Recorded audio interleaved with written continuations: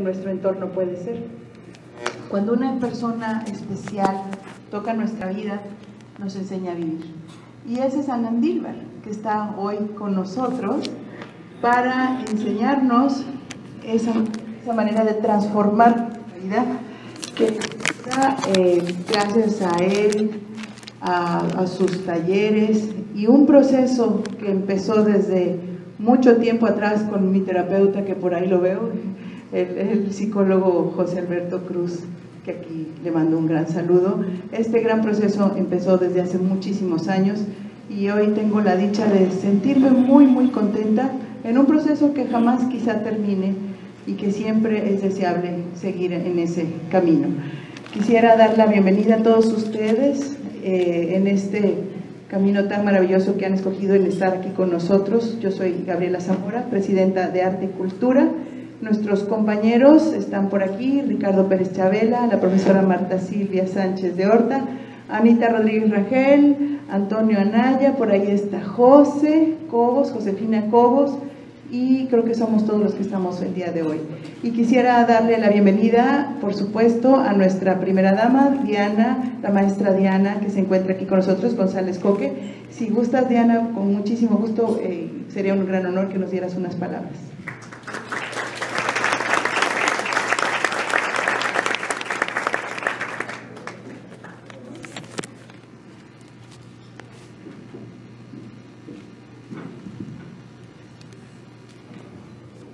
Buenas tardes, noches a todos.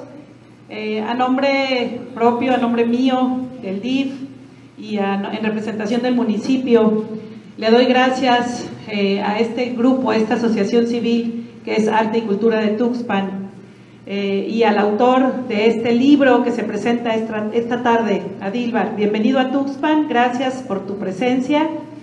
Y a las personas que nos acompañan también, gracias por estar aquí eh, por sumarse a un esfuerzo que hacemos por traer algo que nos aporte, que nos haga crecer como personas, que nos dé eh, pues algo de la paz interior y de la, del crecimiento personal que estoy segura que todos buscamos y que todos necesitamos.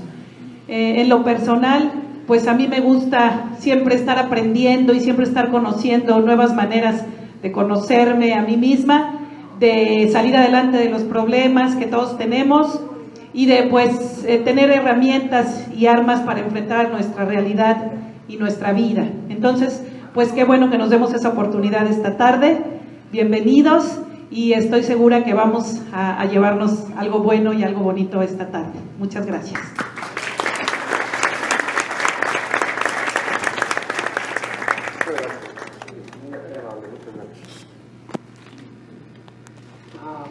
Buenas tardes a todos y a todas. Son más todas que todos, ¿verdad? Hay pocos hombres, qué bueno. Siempre en el camino, en el desarrollo humano hay siempre más mujeres que hombres, ¿lo han notado? Y es que la mujer está más interesada en, en sí misma, ¿no? En investigar. El hombre anda en otras cosas. Allá en las estrellas y en el fútbol y en otras cosas. Les voy a presentar mi más reciente obra. Digo a veces el último, espero que no sea el último. Se llama A través de ti, es una obra, gracias uh, al grupo de arte y cultura por la convocatoria, muchísimas gracias. Gracias Gaby Zamora por tu, por tu amor, por mi trabajo, te lo agradezco muchísimo. Yo vengo siempre con mucho gusto a servirles. He encontrado en mi camino que el servicio es una, una gran inversión de tiempo. Sabes, en el servicio se conjunta la acción, el amor y pues hago lo que me gusta, ¿no? Entonces dice un maestro mío, que por, por, por, por aquí anda su libro, por cierto, ya se vendieron todos, eh, dice, el que no vive para servir, no sirve para vivir, ¿no? Entonces qué bueno que tienen esta asociación de arte y cultura y qué bueno que tenemos la oportunidad de estar aquí juntos. Muchísimas gracias por su tiempo, por su asistencia, por su interés, les agradezco muchísimo y gracias por la oportunidad que me dan de servirles, ¿no? Porque pues yo salgo beneficiado doblemente, ¿no? Bueno, entonces les digo que les voy a presentar mi libro a través de ti. Esta es una obra en parte biográfica y habla también de un viaje, un viaje que como dijo Gaby continúa y va a continuar hasta que me vaya de este mundo. Un viaje de transformación, un viaje de crecimiento, un viaje de investigación y también de muchos otros viajes que me llevaron a más de 20 países a conocer comunas espirituales, maestros, escuelas, conocí a mucha, mucha gente y muchos, muchos proyectos que ven el mundo de una forma completamente diferente a la nuestra. El primer viaje que realicé fue a India en el 2003 y así empezó varios años que todavía siguen ahora y una investigación continua no me gusta el turismo, ¿saben? Decía mi maestro que un turista es un tonto con una cámara fotográfica, sin ofender a los presentes. no, a mí me encanta la fotografía. Les voy a compartir, de hecho, unas fotografías de mis viajes para ilustrar algunos puntos de mi, de mi plática.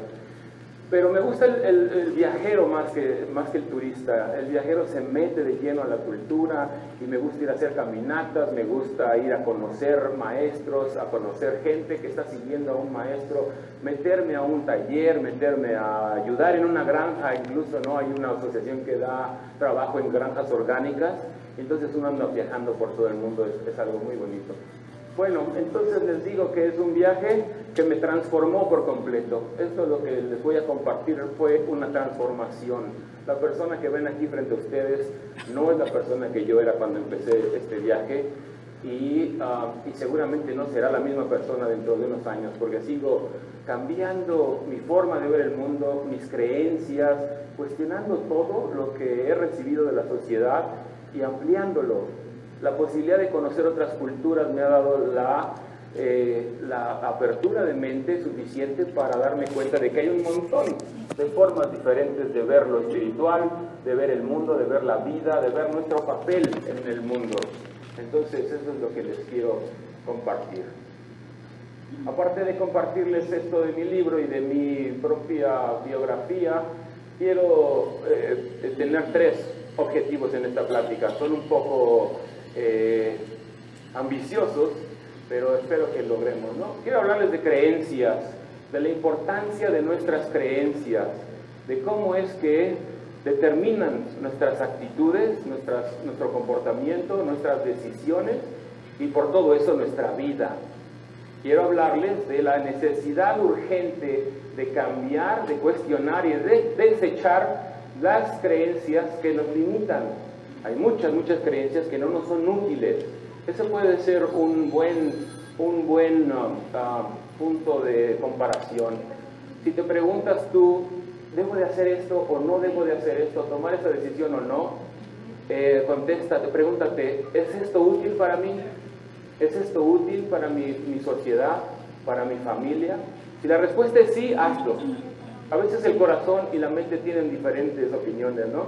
Tu mente quiere ir para acá y tu corazón para acá. Tú pregúntate, ¿es esto útil para la mayor parte de la gente? Y si es así, entonces tómalo adelante. Porque es una forma más eficaz, más en el momento presente de tomar decisiones. Les puedo pedir que apaguemos todos nuestro teléfono, si es tan amable. Es súper difícil estar en el frente y... ¿no? Nos damos un momentito para apagar los teléfonos con respeto a mí y por respeto a todos ustedes, ¿no? Porque a veces una persona quiere escuchar y, el otro dice, bueno, no, no estoy haciendo nada, tú, tú platícame. en el cine, qué cosa, ¿no? Es el séptimo arte. Entonces, sí les pido un, momentito, por favor, para apagar todos sus teléfonos. En el séptimo arte estamos viendo la película y de repente suena, ¿no? Qué barbaridad, me da una... ¿A poco no te da coraje? Respecto, ustedes también pueden lograrlo. Cualquier persona que tenga un deseo ardiente puede lograr una transformación. Nada más que se necesita mucha valentía, ¿no? Se necesita de verdad una entrega completa, un compromiso de, parte suya para lograrlo, ¿no? La frase que más llama la atención a la gente en este camino del desarrollo humano, ándale. A ver, pásamelo. La, ¿eh? Dije, ya ves. La parte que más llama la atención, la frase que más llama la atención en esta onda del desarrollo humano es, ven y cambia tu vida. Lo usamos una y otra vez porque sabemos que la gente no está conforme, la mayor parte de la gente no está conforme con su vida, entonces les suena muy atractivo. Yo les quiero decir que desde mi punto de vista, desde mi ejemplo, es posible una transformación siempre y cuando tengas el valor, el valor de cuestionar lo que te han dicho que no se puede cuestionar. Les voy a hablar de las creencias y voy a hablar cómo es que algunas no nos están funcionando, no tienen ni sentido, pero las estamos, las, las heredamos como un círculo vicioso, una cadena generacional neurótica, diría mi maestro Héctor Salama. Y quiero darles un vislumbre, un pequeño flachazo nada más, una, una mirada así a una cosmovisión diferente. Les voy a explicar también qué es, de acuerdo a mí, una cosmovisión. ¿Vale? Entonces esos son mis tres objetivos en esta plática. Les digo que son ambiciosos, pero si logro más o menos interesarlos, enamorarlos como para que se metan a leer, a investigar, pues ya habré logrado algo maravilloso. ¿Vale? Bueno, les quiero hablar un poquito de mi historia para que entiendan cómo es que me interesé yo por un cambio, cómo fue tan urgente para mí, por qué fue tan grande la necesidad de cambiar mi vida. Cuando, cuando la mamá de mi hijita y yo nos embarazamos, hace 17 años, yo estaba realmente amolado, sobre todo en lo económico. Me iba de la patada, no tenía, tenía yo una deuda tremenda, no tenía ni materia prima en mi compañía, estaba muy, muy mal, ¿no? Entonces yo andaba con esta mujer, eh, era una jovencita en ese entonces, y nos embarazamos, ¿no? Así es que dicen que la casada casa quiere, y lo único que pude yo pagar fue un departamentito diminuto con una, ¿sabes qué? Comimos durante un buen tiempo en una mesa de esas de corona, de cantina, con cuatro sillas de destartaladas, porque no tenía yo para pagar una, una, una, un comedor. Y me tardé como tres meses en comprar un sillón verde de esos de plástico, que para que se limpiara fácilmente, ¿no? Es el único que pude comprar. Y entonces, pues andaba yo mal. En todos los sentidos de mi vida andaba mal, pero eh, sobre todo en lo económico. Ahí, ahí sufrió mi exmujer su, su embarazo.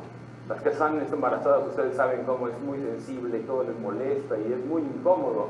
Pues la pobre Gina, así se llama la mamá de mi hijita, sufrió, sufrió su embarazo y no solo porque no teníamos privacidad, porque teníamos que pasar por enfrente casi casi de era un duplex en la casa, en la, parte de atrás de un departamento, de una casa más grande.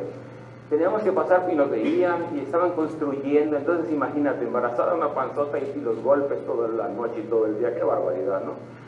En un momento dado yo dije, esto de estar jodido no es para mí. y decidí hacerme rico. Y después de hacerme rico dije, voy a hacer un montón de dinero. No entendiste.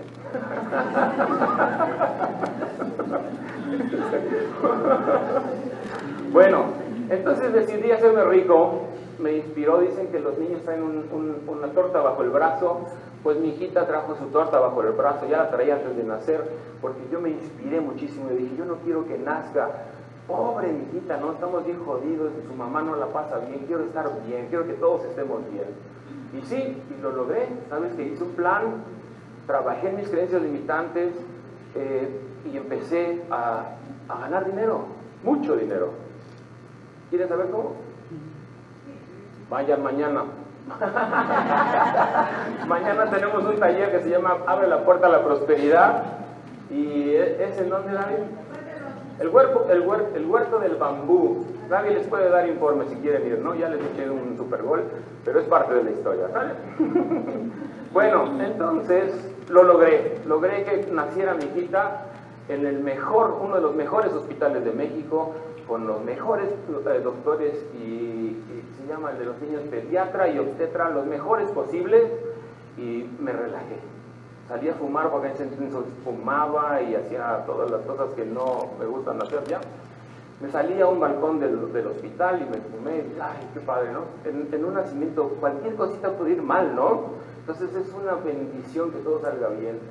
Me sentí tan orgulloso de mí como hombre, ser capaz de proveer para mi familia. Dije, wow, logré pagar la mejor atención para mi hijita y para su mami. Qué bueno, ¿vale? Entonces seguí adelante con esto y para el año que tenía ya mi hijita, saltamos de ese pequeño departamento a una casota enorme, preciosa, en la mejor zona de la Ciudad de México, en Polanco, no sé si ustedes conocen por ahí. Una casota exageradamente grande, ¿no? Porque lo mío era, ay, que sea súper rico, me vale madre, va, ¿no? Y entonces teníamos dos jacuzzis, dos tinas enormes de hidromasaje, una en mi estudio y otra en la recámara, que nada más la recámara era más grande que el departamentito donde vivíamos. Imagínate, tenía un jacuzzi en, en, el baño, ¿no? Entonces entrabas al baño, esos, esos, el, el, closet era de ese tamaño, amigos. Ay, sí. no es cierto, era muy chido.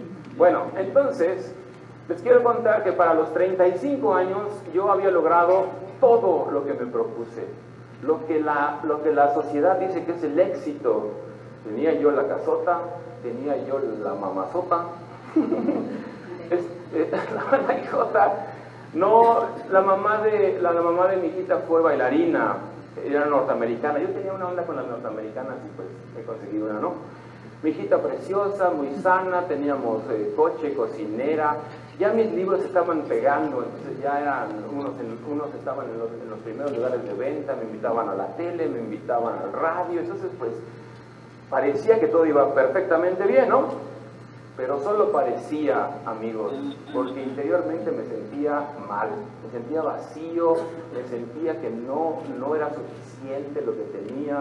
tenía. Sentía yo un vacío tremendo, como siente mucha, mucha gente, y lo quería llenar primero con dinero, ¿no? Porque una casota tan grande era exagerado. Pues, está muy bien, está cómodo, pero una casa enorme, tan, tan grande para una niña o su esposa, digo, su mamá y yo, era muy demasiado, era otra necesidad que no era la comodidad. Lo quería llenar con alcohol, amigos, porque tuve problemas fuertes con el alcohol. Lo quería llenar con comida, es otra cosa que hacemos, ¿no? Sustituimos la comida por las necesidades verdaderas de amor, de atención, de reconocimiento. Y lo quería llenar con logros y metas. Pero por más que me esforzaba, por más que, me, me, mataba, porque eso es lo que hacemos, ¿no? cuando tenemos una necesidad inconsciente, un vacío existencial, andamos como locos trabajando, como locos tomando, como locos fumando, comiendo. Y como todo cae por su propio peso, amigos, pues tuve dos crisis tremendas. La primera crisis es que me divorcié llegó un momento muy claro que mi, que mi matrimonio se había acabado y dije, después de haber luchado por mi matrimonio, de haber tratado terapias y todo, dije, no, me tengo que divorciar, no hay de otra. Y como la mamá era norteamericana, me significaba también que se iba mi hijita a vivir con ella a los Estados Unidos. Entonces perdía yo a, a dos, no solamente la relación, sino también a mi hijita. Les decían mis güeras, mis amigas decían, ¿y tus güeras? Te vas a morir sin tus güeras. Y sí sentía que me iba a morir porque pues no. Bueno, pues no soy yo, así como dicen, como dicen No están ustedes para saberlo ni yo para contarlo, pero a los tres meses de que ya se acabó todo el relajo del, del divorcio, ¿qué creen que me pasó? Que me secuestran. Entonces me pusieron una golpiza, me llevaron a dar la vuelta, me iban a, a ir a guardar, así decía este hombre, pero me salvé, amigos. Eso fue en el 2002, abril 7 del 2002.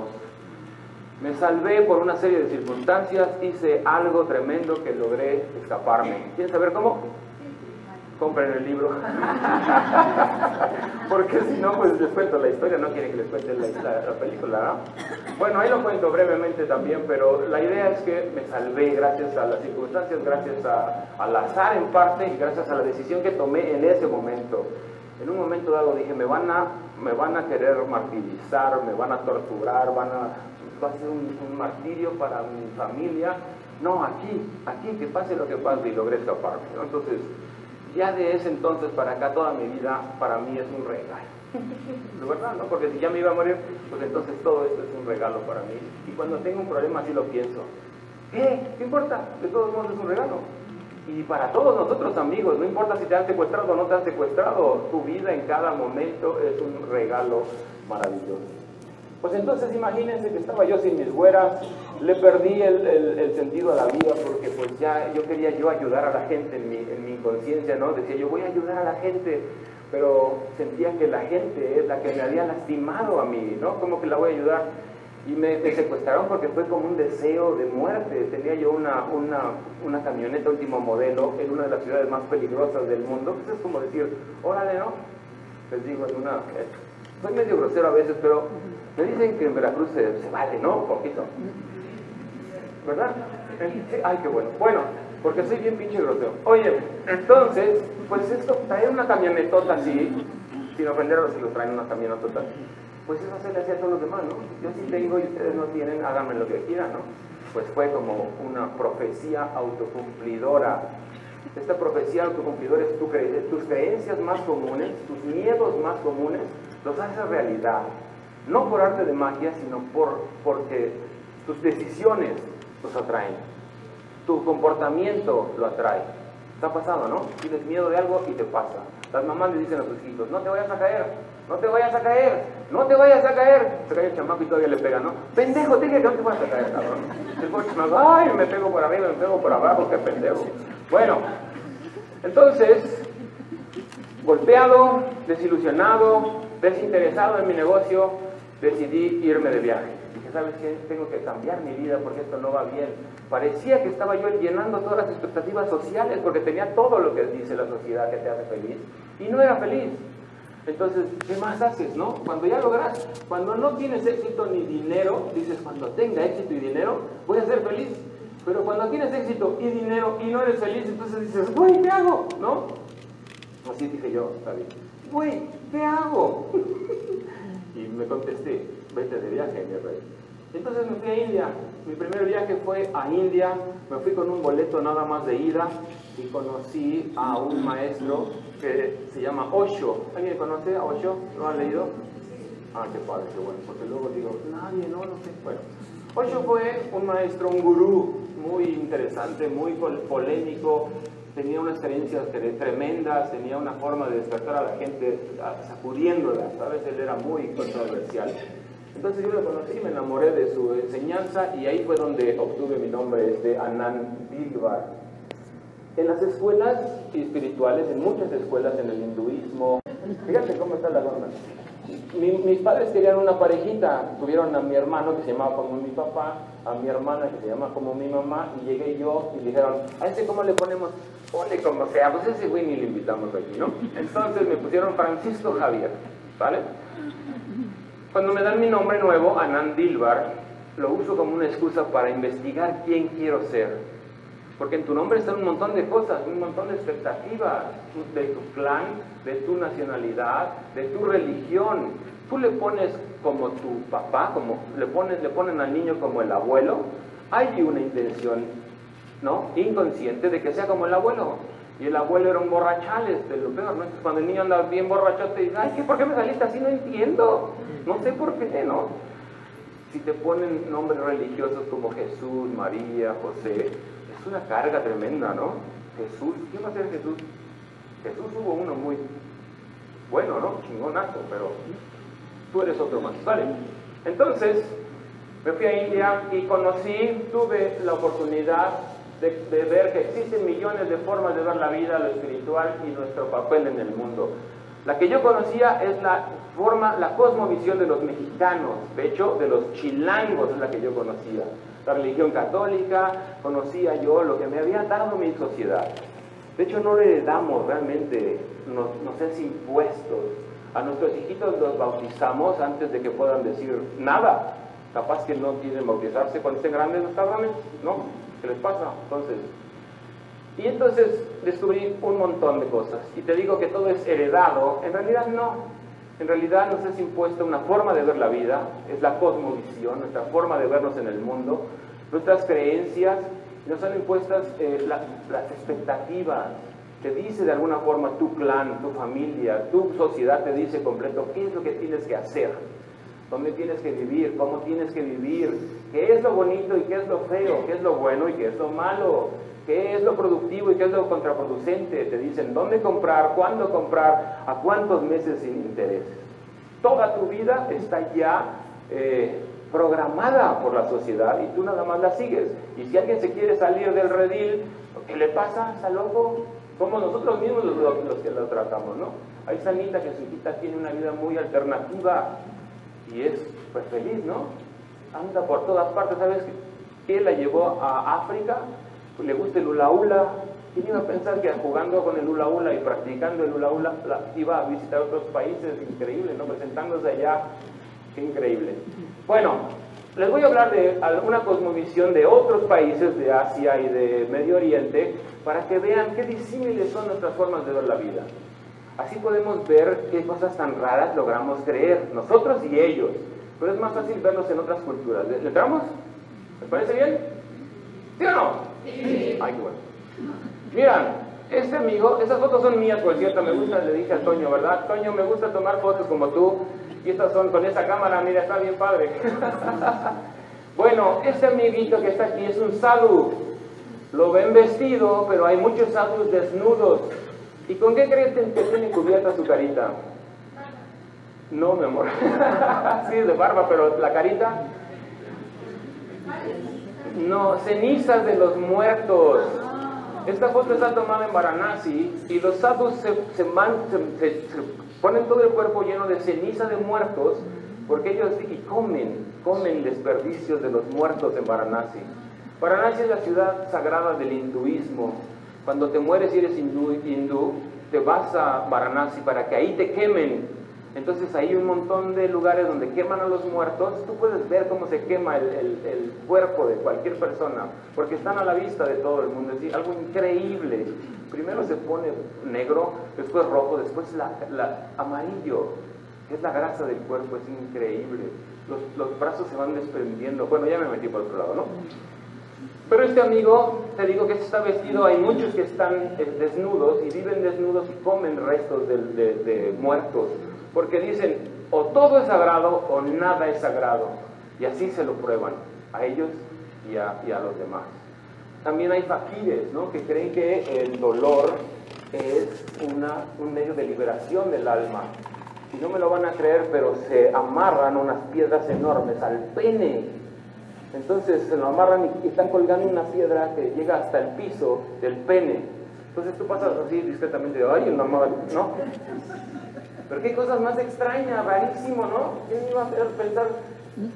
¿Cómo se les ocurre eso, no? ¿Qué haré hoy? Me voy a amarrar una pinche piedra en el pene, ¿no? A ver qué pasa. Bueno, este es un sadhu. Estos dos amiguitos tan, tan devotos están bañándose en el río Ganges. El río Ganges también le dicen el Ganga, lo consideran una diosa. El río para ellos mismos es una diosa. Ellos dicen que Chiva vive en Varanasi y de su pelo, del pelo de Chiva, surge el Ganges y, riega todo India. Estos amigos tan lindos se están bañando con la mejor la devoción para lavar todos sus pecados. Es lo que hacen allá. Pero el Ganges es un lugar tan contaminado que no lo puedes creer. Yo no me atrevo a meter el dedo ahí porque todo está, ¿no? No es raro ver espinas dorsales quemadas, chamuscadas, moviéndose por ahí, ¿no? Entonces, estas partes se están bañando, están lavando la ropa, están jugando cricket los niños y pedazos de muerto ahí en el Ganges. Está tan contaminado que la, la, ONU lo declaró como zona perdida. Bueno, pues ellos se están limpiando de sus pecados. Qué cosas más extrañas, ¿no les parece? Vean la devoción. Ellos están cumpliendo un sueño de su vida, bañarse en el Ganges. Es uno de los más grandes privilegios para los hindúes. Aquí hay otro sadhu, también está vestido, bendito sea Dios, porque si no les iba a poner aquí un susto. Y están fumando marihuana, ese es otro de sus, rituales. Toman yogurt con marihuana, se llama Bang Lassi. Se lo toman y se ponen súper espirituales, ¿no? Entonces, mira, como este saludo de Chiva, también otra cosa rarísima. Los hindúes, ¿sabes cómo dicen que sí? Así, entonces yo llegué a India y, me senté a un restaurante y le digo, ¿este está bueno? Entonces este, y este, ¿hay algo bueno aquí en el restaurante? Ah, pues ya me voy, ¿no? Hasta que supe que este eran sí. Fíjate qué cosa más interesante, hasta la forma de decir que sí es heredada, todo lo que creemos que asumimos como, como humano, como lógico, como nuestro, es heredado, ¿vale? Esta mujercita hermosa, miren qué devoción. Parece que está haciendo el rosario, pero no es un rosario, esa es una mala. Y lo que está haciendo es repitiendo mantras. Devotamente le está rezando a uno de sus 330 millones de dioses. Puede ser Shiva, Hanuman, Ganesh, Lakshmi, Shakti, no sé, tienen para aventar para arriba. ¿Por qué tener uno? Se puede tener 330 millones. Quiere decir que cuando ellos construyen un templo, una representación de un Dios, eso, esa cosa se vuelve el Dios. Por eso tienen tantos, ¿no? Nombres hay pocos, pero hay 108 nombres de Dios, pero el Dios se convierte, la piedra se convierte en el Dios, por eso tienen tantos, y los veneran como si fueran. Entonces esta mujercita podría ser cualquiera de nosotros rezándole a Dios, pero le está rezando a Hanuman, al hombre mono, al Dios mono, o a Ganesh, que tiene cabeza de elefante. Les cuento la historia de Ganesh, es muy interesante. Shiva, el mero mero del hinduismo, el, dios más, el más, ¿cómo se diría, Gaby?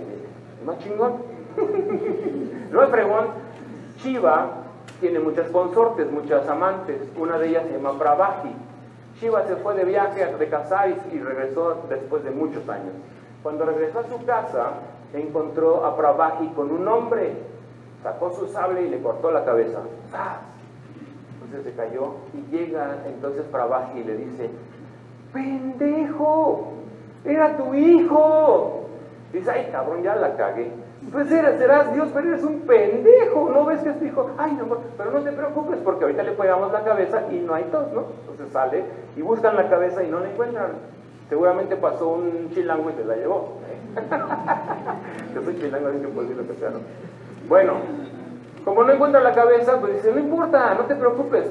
Le cortamos la cabeza a un elefante y se la pegamos, ya. Y de ahí nace Ganesh. Ganesh, lo han visto, ¿no? El dios elefante, removedor de obstáculos, el dios de los buenos inicios, de la buena suerte. Donde sea que veas un hinduista, va a tener un Ganesh en la puerta porque es buena onda, buena suerte. ¿Vale? Pero mira qué devoción. Tú le rezas a, Dios, ella le reza a su Dios. Y si tú le dices que tu Dios es el bueno, va a decir, claro que no. El mío es el bueno, ¿no? Bueno, vale. Estos dos guapos me parecen una pareja muy hermosa. Son muy afortunados porque la gran mayoría de los matrimonios en India son arreglados. Algunas veces no se conoce a la novia hasta el día de tu boda, imagínate. Y el divorcio es inaceptable. Si tú te divorcias siendo hindú, te niegan el habla, el resto de la familia, tienes que irte de India porque nadie te va a apoyar en nada. Está prohibido, no es, no es lógico. Yo les contaba a unos amigos hindús, yo soy divorciado, y se morían de la risa. Ja, ja, ja, ¿cómo divorciado? ¿Estás loco? Sí, estoy divorciado. ¿Cómo? ¿Cómo es posible? No lo podían creer. Entonces, estos tuvieron la, la, fortuna de encontrar a alguien atractivo, ¿no? Son muy hermosos, me parecen, a mí no sé si ustedes los consideran así. Pero entonces, ellos creen en el karma. Han escuchado del karma, ¿no? El, karma, como ellos lo entienden, y como la mayoría de nosotros lo entendemos, también es un arma de manipulación de la patada. Porque dicen que si tú te portas bien, pues te toca una mamacita como esta, ¿no? Pero si ella se porta mal, su mal karma, le tocas tú, ¿no? ¡Ah! Tu castigo en esta vida. Entonces ellos aguantan, lo que les toque es lo que les tocó por cómo se portaron en otra vida. Y eso es lo que hace esta pobre mujer. Estas mujeres de las castas más bajas del hinduismo se llaman los intocables. De hecho, hay otra más baja que se llaman los invisibles. Están los brahmines y hasta el final están los invisibles. Si esta mujer se atreviera a tocar a un brahman, a un brahmin, tendría que irse a bañar a este hombre, tirar su ropa porque lo tocó esta persona que es tan indeseable, tan sucia, tan impura.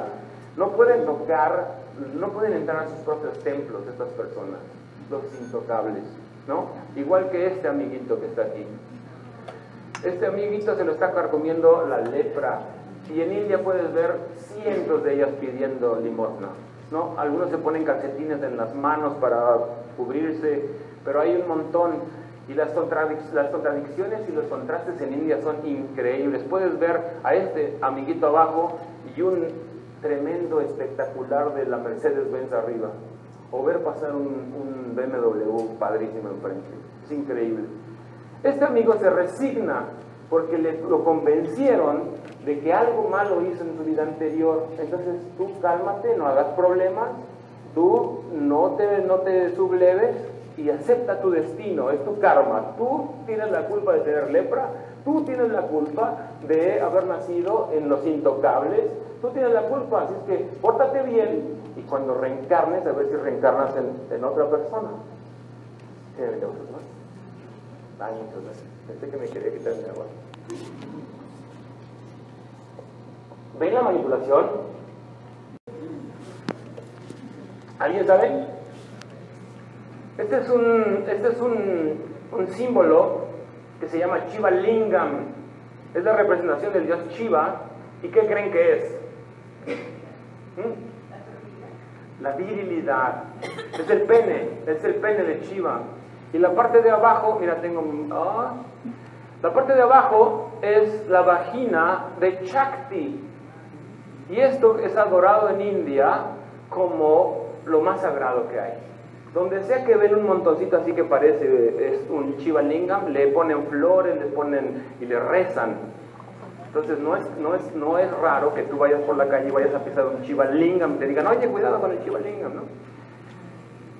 Tiene un significado maravilloso, amigos, como todas las, las enseñanzas espirituales, detrás del símbolo hay algo muy interesante. Shiva representa lo masculino, lo, el poder, el dar, la fuerza, la presencia, el tener un objetivo. Todo lo que es masculino en la naturaleza está representado por Shiva. Y Shakti representa lo femenino, la receptividad, la paciencia, el cuidar la casa, el cuidar a los niños, la tierra, la Pachamama, ¿no? La Pachamama, eso representa. Y cuando se unen los dos, tienen un orgasmo. Y el orgasmo es esto que estamos viviendo. Es el orgasmo del dar y recibir, de lo masculino y lo femenino. Se llaman lila. Y lo que estamos viviendo, según ellos, es esta maravilloso gozo de la unión mística de lo masculino y lo femenino. Pero ustedes creen que los 1.200 millones de personas creen en eso? Creen que están adorando el falo de Chiva y le ponen flores y lo besan y se abrazan. No me lo van a creer, pero le echan leche por aquí y se la toman por acá. Por aquí escurre la leche. Increíble. Entonces los puedes ver a los devotos tomando leche de, chi- de Chiva. Rarísimo, ¿no? Y comprando cocos, cocos sagrados. Venden cocos sagrados, pásenle, pásenle, dos por uno. Qué raras cosas, ¿no? Son completamente ajenas a nosotros. Ustedes parece que ninguno aquí había visto un Chivalingam, ¿no? Qué padre. Pues entonces, fíjate nada más, ellos creen esto como si fuera la verdad. Y yo les incluso les pregunté a, mi- a mis amigos hindúes, a uno que conocí, le dije, oye, ¿tú qué crees de Jesucristo? Y dijo él, en su ingenuidad y en su forma de, de ver a nosotros, de vernos a nosotros, dijo, pues me parece que tienen un Dios muy triste. ¿Por qué tomaron el peor momento de su Dios en su vida y lo representan ahí? ¿Por qué no la resurrección? ¿Por qué no otra parte de su vida? Y dije, wow, qué, qué interesante, lo puede ver desde otra perspectiva, ¿vale? Pero no le voy a decir algo del Chivalingam porque te matan. A Osho, el maestro que les comento, se levantó un hindú con un cuchillo y lo iba a matar porque insultó al dios Hanuman, al dios mono del hinduismo. Entonces así son los, los musulmanes y muchos, muchos me han aventado jitomatazos por hablar cosas en contra de sus creencias, ¿no? Espero que aquí no... ¿Alguien trae jitomates? Qué bueno. Nuestras creencias, queridos amigos, por eso hablo de esto, tienen un poder tremendo para hacernos hacer cosas que no van en, en nuestro bienestar, que son limitantes, que son incluso hirientes. Les voy a hablar, voy a seguir hablando de otras creencias ajenas para que podamos verlo con claridad, porque como les digo, estamos tan acostumbrados a nuestra forma de ver la vida que cuando yo hablo de nuestras creencias dices, no, no, no, espérame, ¿no? Tenemos un apego afectivo a nuestras creencias, creemos que somos nosotros. Por eso si yo le pico la cresta aquí a Gaby, dice, oye, no te metas con mis creencias. ¿Por qué no? Si son normalmente ideas, estoy hablando de lo mismo que estoy hablando de otros, de otros países. ¿Estamos de acuerdo? Bueno, mira nada más esto. ¿Saben cómo se llama esta vestimenta de, los, de, la- de las musulmanas? Esta mujer está tomando el, el sol. Burka, dijeron por aquí. Burka se llama. Mira, se tapa por completo. Mira esta, esta fotografía que pasó aquí. No, estoy, este, se saltó todas las fotos, mira. Ahí está, esta pobre mujer está tomando el sol con su burka, qué barbaridad. Y esta, mira, está con su esposo. A mí se me hace que está guapísima, no se ve ahí. Pero fíjate qué guapa está su esposo. bueno, las mujeres del Islam usan la burka porque se convierten en cosas, propiedades del marido. No tienen ni voz ni voto. Tienen que caminar cinco metros atrás del hombre. No deciden absolutamente nada. Y esta burka la usan ellas con gusto. Ellas mismas le piden a sus hijas, a sus primas, a sus vecinas que se pongan la burka e inculcan esta creencia a sus hijitas. Y tiene serias consecuencias. No les da el sol, por lo cual no produce su cuerpo de vitamina D y les da osteoporosis. Es muy común la osteoporosis. Les afecta en su psicología, su autoestima se ve dañada tremendamente. ¿Te imaginas que no pudieras verte tan bonita como eres tú y no mostrarte tu atractivo? Que los hombres no te vieran en la calle y te trauma, ¿no? Oye, entonces fíjate qué consecuencias tan dañinas tiene esto y ellas mismas lo promueven ellas mismas, no vaya a ser que la vecina no use su burka, que se la ponga. Y eso mismo hacemos nosotros, amigos. Estoy exagerando un poquito con ellos para que nos demos cuenta de lo que hacemos con nuestras propias creencias. Ella le dice a su hijita, ya tienes 13 años, ponte tu burka y no vayas a salir a la calle sin tu burka, que no te vean un, un centímetro de la piel, porque vas a ofender a Alá, ¿no? Bueno, fíjate nada más, esta foto me encanta la, tomé en Turquía y mira cómo están ellas, están viendo un celular, estaban viendo un video ahí, yo creo que porno, porque mira cómo la de aquí está, viendo y le está tapando con la mano, ¿ya viste? Estaban muertas de la risa y yo por acá también, me las agarré. Pero fíjate qué cosa tan triste, ¿no les parece? Tristísimo. Les voy a contar algo que es más triste todavía y espero no ofender a nadie, pero es algo que hace muy evidente la estupidez que somos capaces de, cometer por nuestras creencias religiosas, por nuestras creencias sociales. Estos amigos musulmanes, los más ortodoxos en África, practican lo que le llaman la ablación. ¿Saben ustedes eso? La ablación es la circuncisión femenina. A los 13 años les hacen una operación y les extirpan sus partes sensibles. Ya ustedes sabrán de qué, de qué estoy hablando. Secuestran a las niñas de 13 años de sus camas y con lo que sea, con, con navajas sucias, con vidrios rotos, les, les, hacen esta operación. Y los hacen ellas, las comadres a sus, a sus ahijadas, las, las mamás a sus hijitas, porque el pecado para los del Islam, porque el placer es un pecado. La mujer debe tener eh, sexo para reproducirse, nada más. El cristianismo ortodoxo dice lo mismo, amigos queridos, y el judaísmo ortodoxo dice exactamente lo mismo. La mujer está tan mal vista en el Islam como en el catolicismo y como en el judaísmo, igual. Tiene un papel secundario. ¿Cuándo vamos a ver una papisa? Ojalá y viéramos a la papa, ¿no? Llegó la papa. Ah, suena raro, ¿no? O sacerdotisas o mujeres más sensibles en lugar de estos hombres que están eh, al frente, ¿no? Bueno, luego ya me metí por otro lado. Pero sí se dan cuenta, ¿no? De que tiene un papel secundario la mujer. Bueno, entonces no estoy, no estoy saltándome las trancas, ¿no? Bueno, entonces, que sigue ya se me olvidó. Quiero presentarles entonces un video cortito sobre la cosmovisión para hacer más claro y me den ustedes permiso de pasar a nuestras propias creencias, porque ahí se pone pesada la cosa, ¿no? Si hablo de ellos, dicen todos, ¡ah, qué locos, ¿no? Están, locos, qué pendejos, ¿no? Pero si hablo de nosotros, dicen, ¡ay, no hables de eso! ¿Por qué? ¿Por qué te atreves? A ver si los animo con este video. Somos más de 7 mil millones los seres humanos que habitamos en casi cada rincón de esta hermosa tierra. Vivimos en ciudades, selvas, bosques, montañas, desiertos, en los más variados ambientes y climas. La especie humana incluye una enorme multitud de fisionomías e idiomas esparcidos en seis continentes, a su vez divididos caprichosa e imaginariamente en 195 países. Existen 4.200 religiones vivas en el mundo, con su propia mitología, simbología, credo y un conjunto de valores particular para cada una. Cada sociedad hereda a sus miembros su cultura, un sistema de creencias común para ese grupo de personas. Al conjunto de creencias acerca de cómo explicamos el origen del universo y nuestro papel dentro de él le llamamos cosmovisión. Esta cultura compartida incluye el discurso social, la moral y el sentido común. El discurso social es el conjunto de argumentos que justifican ese sistema de creencias. Es el por qué hacemos lo que hacemos, el qué debemos hacer, cuándo, cómo, con quién y en dónde.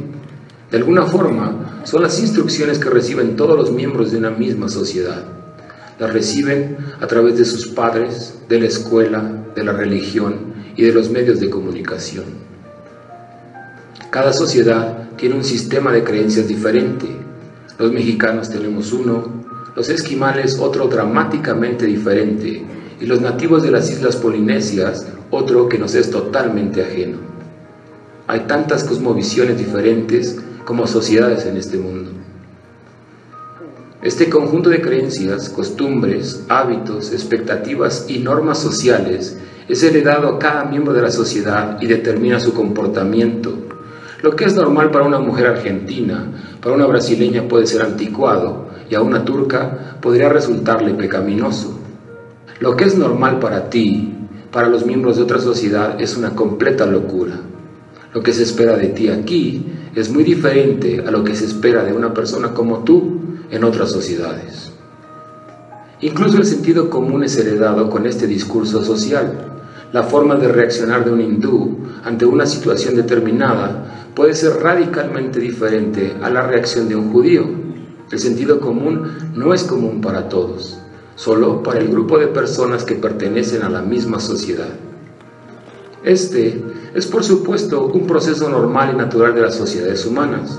Sin embargo, tiene dos tremendas desventajas. Uno, que como rara vez nos damos la oportunidad de conocer otras culturas y sociedades, creemos ignorante y arrogantemente que la nuestra es la única forma de ver el mundo y la única correcta. Y dos, que el individuo que hace suyo el discurso social no se da cuenta que está recibiendo instrucciones de alguien más la persona cree que está eligiendo cuando en realidad responde ciegamente a la hipnosis que recibe. No solo nunca la cuestiona, sino que la defiende sin darse cuenta de que esa es una forma muy limitada de ver el mundo y como consecuencia una forma muy limitada de vivir. Si te conformas solamente con la cosmovisión que recibiste y nunca te abres a la posibilidad de conocer otras formas de ver el mundo, te estás perdiendo de una riqueza maravillosa Estás limitando la experiencia humana, que es tremendamente amplia al mundo que conoces. ¿No es esta, de alguna forma, una esclavitud autoimpuesta? Pudiendo elegir entre un enorme abanico de posibilidades, ¿te conformas con las que te ha dado el pequeño círculo en el que te desenvuelves? ¿Tendrás el valor de admitir que tu forma de ser no es tuya en realidad? Es la forma en la que se espera que seas tú en tu sociedad. Tampoco tus creencias te pertenecen, las heredaste, te fueron impuestas sin que tú tuvieras la posibilidad de cuestionarlas. Eres un ser humano y nada de lo que es humano te es ajeno. El mundo le ofrece un infinito de posibilidades a la persona que está dispuesta a abrir su mente y liberarse. ¿Será que te animas a expandir tu cosmovisión y asomar la cabeza del hormiguero? ¿Será que dejas de responder ciegamente a lo que te dicen y formas un criterio propio ¿Será posible que veas lo que es y actúes en consecuencia?